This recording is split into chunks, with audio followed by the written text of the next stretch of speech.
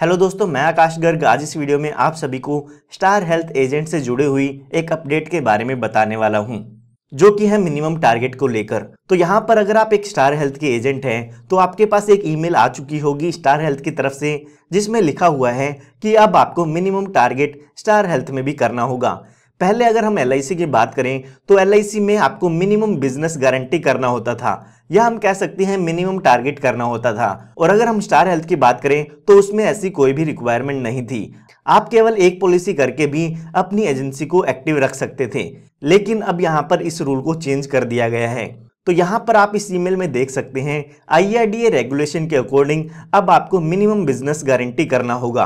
तो यहाँ पर अगर हम टारगेट की बात करें तो यहाँ पर आपको छह फ्रेश हेल्थ इंश्योरेंस पॉलिसी करनी होगी और साथ ही साथ उसका जो फ्रेश प्रीमियम है, वो टोटल पच्चीस हज़ार होना चाहिए।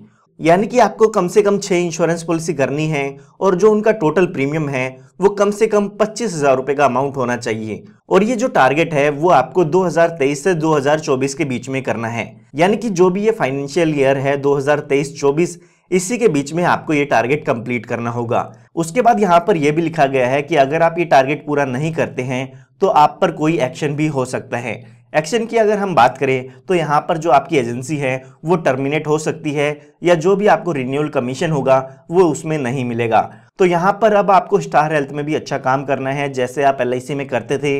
यहाँ पर जो आपको मिनिमम बिज़नेस गारंटीड है छः नंबर ऑफ़ पॉलिसी और उनका जो प्रीमियम है, वो पच्चीस हज़ार रुपये होना चाहिए। ये टारगेट आपको ज़रूर अचीव करना है।